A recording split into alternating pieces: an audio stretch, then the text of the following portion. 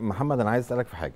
أنا كان معايا امبارح آه، كابتن جاد جريش خبير طبعا التحكيمي. كابتن جهاد كان بيقول لي إن إحنا ما نستخدمش هو وجهة نظره ما نستخدمش خبير مقيم خبير أجنبي مقيم علشان يطور التحكيم في مصر. لا. وقال آه، الحكام زي ما هم موجودين بس نعمل إيه؟ نعمل حد زائر.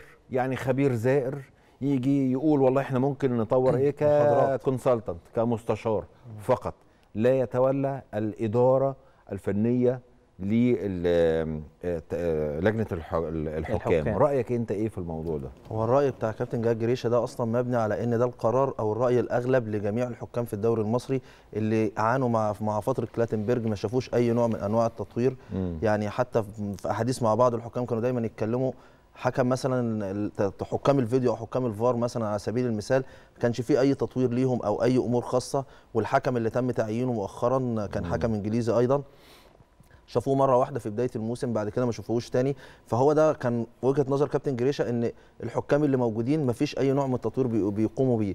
فيبقى الأفضل لا حكم يجي زائر في يعني يجي يدي محاضرات يفهم الحكام يطلعوا على أفضل آه يعني. هو عايز يحل المشكلة فقط مم. يعني هو بيحل المشكلة اللي كانت بتاعت كلاتنبرج بالظبط. بوجود consultant أو بوجود مستشار آه، أجنبي زائر لا يتولى اللي هو يعني ما يكونش على رأس اللجنة يعني صح معظم كده؟ الحكام كمان يا أستاذ رجاء يعني غير مقتنعين أصلا بفكرة حكم أجنبي يعني شايفين كمان كانوا بيشوفوا إن كلاتنبرج مش هو الاسم الكبير كانوا عندهم مثلا واحد زي كابتن اسامه فتاح كابتن جمال الغندور أسماء كبيرة بتدي أصلا هي محاضرات بره في في الكاف وفي الفيفا. أنا آسف معلش يا محمد يعني. اتفضل. بعتذر طبعا. اتفضل. آه هو إحنا عندنا آه أي حكم مصري كان في أي مكان من من الك- النماذج بتاعت كأس العالم اللي قبل كده؟ آه أيوة طبعا، كابتن جمال جمال الغندور غندور. لا لا لا لا أنا بعد, آه. بعد جيل جمال الغندور آه ده اخر يعني- آخر يعني نسخة كان محمود أبو رجال كان. مساعد الحكم المصري لا، المساعد. أنا- كان مو- موجود في ال- في كأس العالم آه، بس كان واحد حكم واحد بس يعني. آه مساعد, مش حكم ساحة. أنا آه بتكلم على حكم ساحة. آخر حكم ساحة هل كان كابتن جهاد جريشة في آه. 2018 ده حقيقي. إحنا في 2000 كام؟ 23 23 مم.